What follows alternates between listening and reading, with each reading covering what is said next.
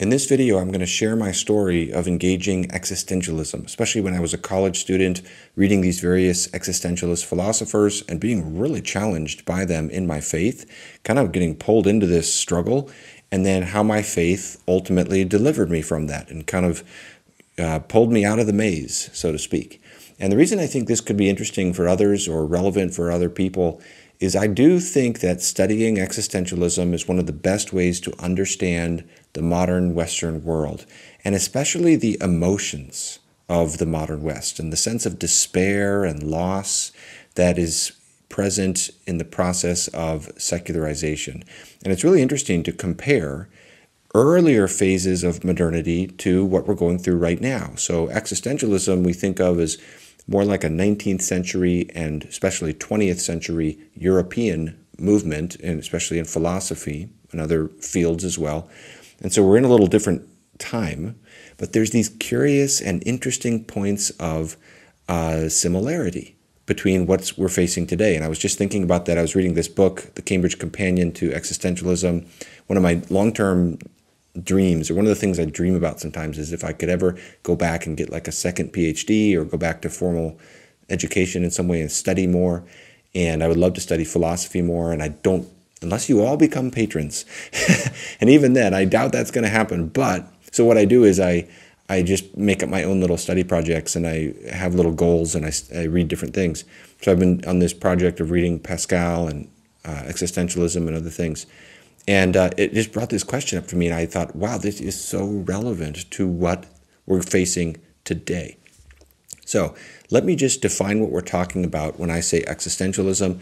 This is a movement, not just in philosophy and other fields as well, where there's this reaction against uh, the more speculative metaphysical questions of philosophy, and the, the focus is put on the individual and on the individual as existing and the, the problems that come with existence.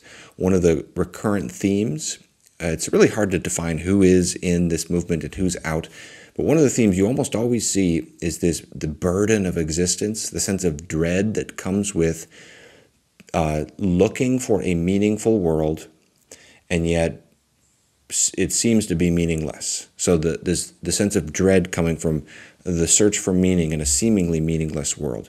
But the way I love to define existentialism, just my own personal short kind of not it's not a definition, but just a way it could be helpful just as a way to get into it is to say it's what atheism feels like.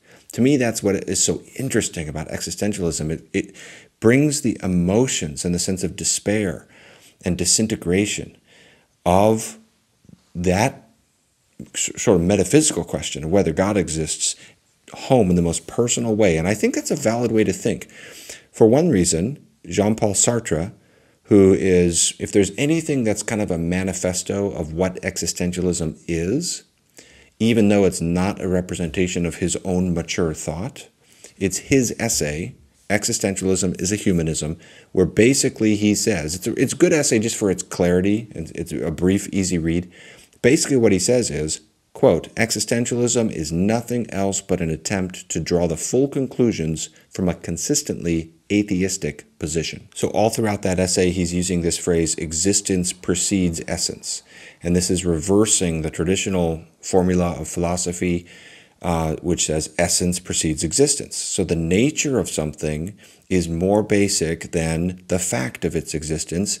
And existentialism is reversing that and saying, no, we're just here. There's nothing that we're supposed to be. There's no nature. All of that comes after. Existence is this sort of brute fact that we start with. And so um, the reason that he arrives upon that is uh, because of, again, atheism. So atheism, the, the removal of God means that the category of essence becomes kind of destabilized. So in relation to human beings, Sartre says, there is no human nature because there is no God to have a conception of it. Man simply is. And I just think that is so poignant and it, it captures what it feels like for the person who genuinely uh, contemplates a universe in which God is out of the picture. It's this sense of the wild freedom and dread of it. You know, there's nothing that it's supposed to be. It becomes it becomes random. Randomness. That's a good word for the feeling of it. And I'm really interested in that emotion because I think a lot of people feel that way, even subconsciously. I think a lot of people in a, in a secular culture are walking around feeling something of that, even at a more interior level, more so than people in pre modern cultures did. So, what I want to share is my own journey of working through this. And it came not from Sartre, but from reading another existentialist thinker, though some people say he's not really an existentialist and he didn't like that term, uh, Albert Camus. Okay, he lived from 1913 to 1960, born in Algeria, lived in France. He wrote this. He wrote several things that I read in college that absolutely I'll, I'll never forget. University of Georgia, the philosophy building, the library right there on on the North Campus.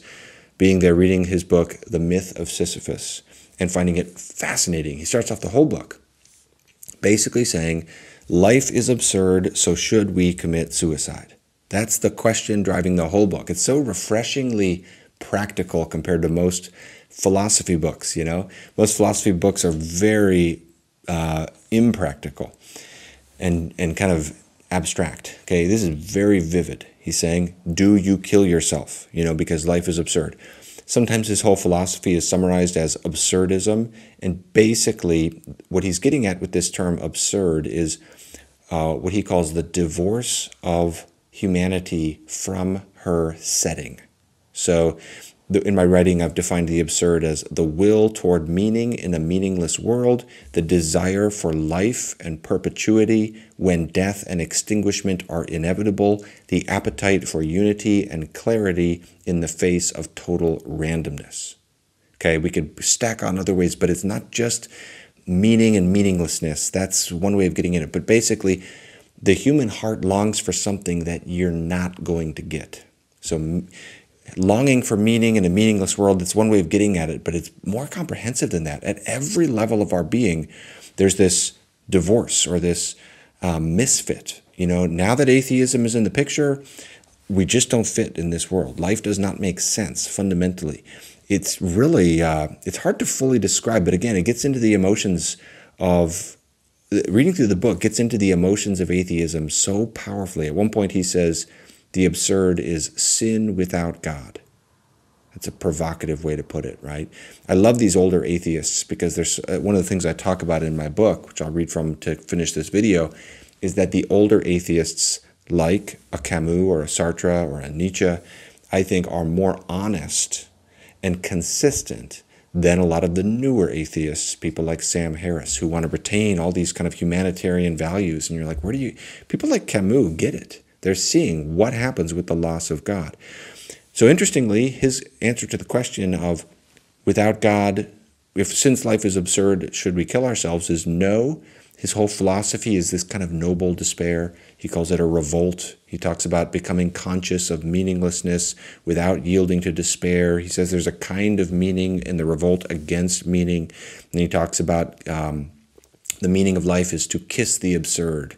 So it's this kind of interesting uh, philosophy. I remember reading through the book. I'm trying to understand. You must picture me in the library there, trying to understand. You know, in a good faith reader, trying to read Camus, trying to understand what is he really getting at here. And I'm getting to the final few pages of the book, and I'm wondering the whole time, kind of, why does he call this book the Myth of Sisyphus? Well, this is the figure in ancient Greek mythology who was bound to eternally roll a stone up a hill, only to have it roll down again.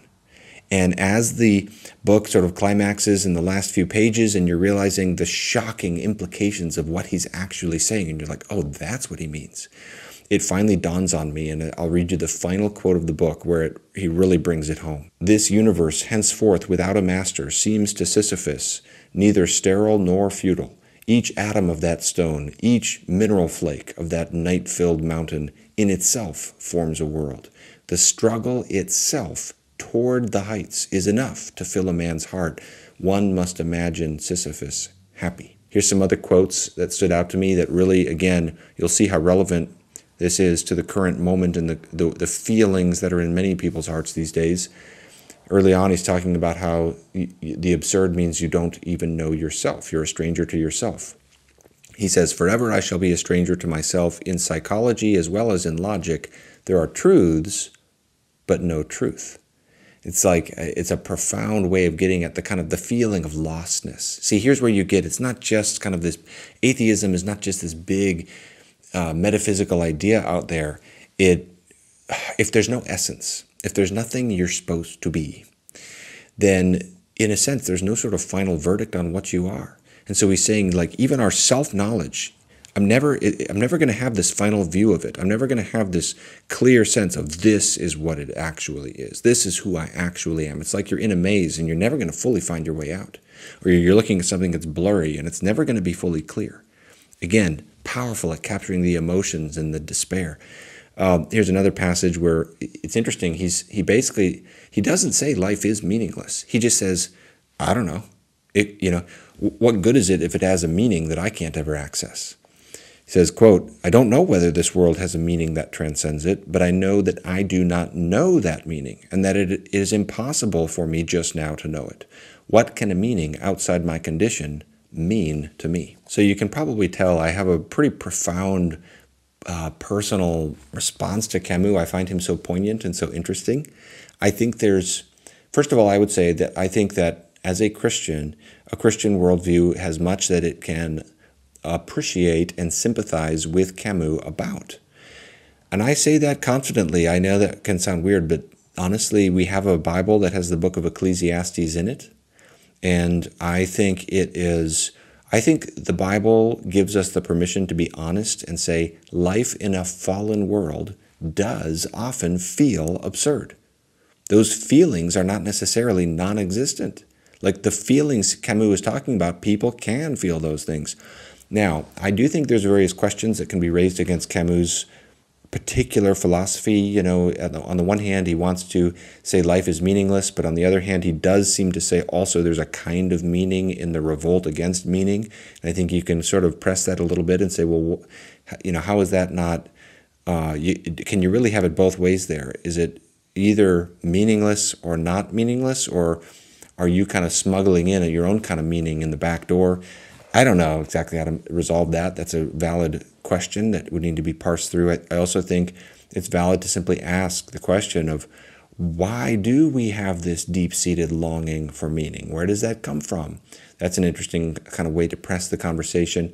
I also think it really is impossible. I really don't think anyone honestly can regard Sisyphus as happy. If you really embrace that idea, life is nothing more than rolling the boulder up the hill, it rolls down. There's nothing ultimately meaningful about life.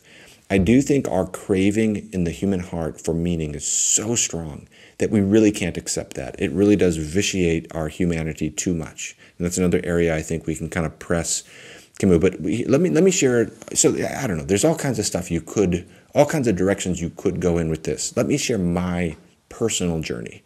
Okay for a while, I felt a sense of resonance with what he's describing and this sense and, and, just other things in existentialist literature this sense of we're hurled into existence but we're not given answers to accompany us along the way. So life seems this bizarrely unfair thing where you don't choose to exist. Existence is thrust upon you but now you've got to figure out what to do.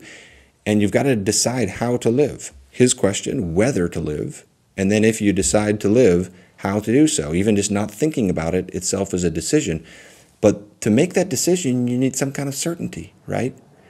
Uh, and that's the one thing that we don't have. We can't figure life out. We don't have a kind of certainty. And I remember I'll, I'll share with you my journal entry in December 2005 when I was a senior in college. I think this was right after I got back from studying abroad in England. I was wrestling with these things. I wrote in my journal the only thing worse than the pain of life is its utter randomness. We are hurled into consciousness and struggle without any explanations or answers to accompany them. Life is like a test we are forced to take, the answers to which are impossible for us to know.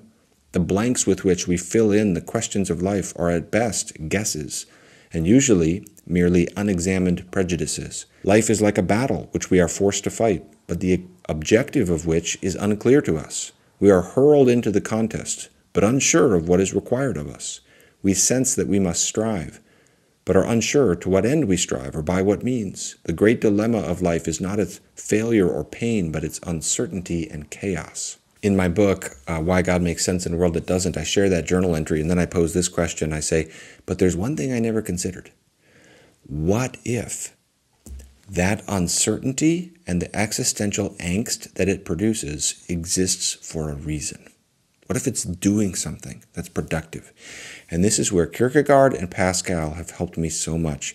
Kierkegaard talked a lot about the psychology of faith and its relationship to the anxiety and, and dread that we associate with uncertainty. And he basically is talking about how there's this kind of disproportion between what a human heart is designed to do, namely this longing for happiness, and uh, the, any kind of knowledge that you can produce through study and reflection. And he, at one point in his writings, he poses this question of suppose you could get, because he's basically saying no matter how much you study, even if you had all the smartest people in the world in one brain doing all their work, you'd never get a full objective system that results in certainty. But then he says, even if you could, is that what you would need? And he says, on the contrary, in this objectivity, one loses the infinite, personal, impassioned interest interestedness that is the condition of faith, the everywhere and nowhere in which faith can come into being. And Blaise Pascal has a lot of passages in his famous Pensées or Thoughts where he's saying the same thing. He's basically saying uncertainty and the anxiety of that and the hiddenness of God is all playing a role. That's the context in which love develops. And love is an essential ingredient to faith. A human being is designed for faith. Faith is this infinite passion certainty is not what we need. Certainty is going to be down the road as, as the goal eventually, but it's not what we need to get there. And uh, Pascal talks about, you know, he says we're neither every everything nor nothing. Uh, we exist, we're real, but we're finite. And so he dis- and so therefore there's always this kind of slipperiness. And he, he says it's like we're in the ocean floating around and we can't land on anything solid. But he says that is that way for a reason. That's exactly how God set it up. It's what we need to arrive at what we need to arrive at, which is faith, the infinite passion of faith, which is more like falling in love than, you know, studying and getting the answer right. Now, this is not irrationalism. It's not saying just take a blind leap, but it's certainly not you only step into faith once you've arrived at certainty. So let me read from my book how I and the whole book and where this all kind of landed for me. And you'll see how it landed on me by the, the, by the pitch that I make to the reader of my book. Here's what I say. What all this amounts to is this those who feel trapped by uncertainty, as I did in college, must ask themselves if they are quite certain about their need for certainty. For ultimately, the demand for certainty springs from the assumption that we know what we need and that we know what we want. But do we? Hasn't most happiness and truth already come to us through experiences that involve surprise, surrender, and risk? Perhaps certainty is overrated. In the meantime, what do we do? As Pascal emphasizes, we must choose. We must wager. We must make the best decision we can in light of the information we do have. And why, after all, should we expect certainty before we have done this? For Pascal, it is here that the beauty of the gospel becomes most acutely relevant. One of his briefer entries simply reads thus An heir finds the deeds to his house. Will he say, perhaps, that they are false and not bother examine them? This is our situation in relation to the gospel. It is a message that concerns your infinite happiness and the everlasting good of the world. It claims that our world has an author, a meaning, a struggle, and a hope. If anything ever deserved to be longed for, it is this. If anything was ever imp- important, it is this. It is as though you have confessed your secret feelings to your true love and are even now awaiting her reply. Are you almost convinced? Would you give anything, as would I, for it to be true? Then believe. Give yourself to that belief as you give your heart to the one you love. In that posture, you will find certainty and you will find yourself. And that's how I end my whole book. If you're interested, you can I'll put it in the video description. You can check it out. Um, hope that's interesting or relevant to someone else out there. What I would, the pastoral, sorry, the Baptist preacher coming out here, but for anyone watching this who feels lost in the darkness out there, here's the pastoral way I'd sum it all up is in those very feelings of desperation and lostness, let those be a catalyst to cause you to fling yourself fully into God. Cast yourself fully upon Him.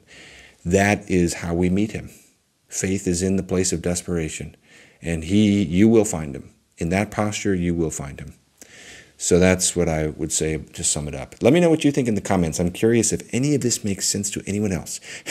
I'm curious, does this resonate with anybody else? Or am I the only one who feels like these uh, these guys like Pascal and Kierkegaard who think about the psychology of faith, like what they say is very relevant to the current moment?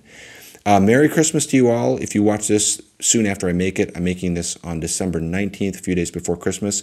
I'm going to have a Christmas devotional video coming out later this week. I'm also going to have a Christian response to Buddhism, the Eastern religion Buddhism, uh, coming out probably next week. Doing some different kinds of videos like this lately. It's been kind of fun. I've, I've been on a philosophy kick, reading philosophy, so it's kind of, and I thought, oh, this could be interesting or helpful for people out there.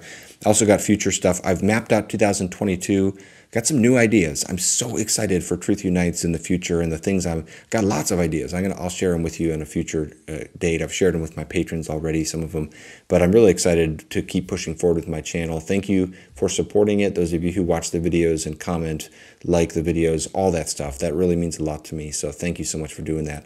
Uh, thanks for watching this. Let me know what you think in the comments. God bless.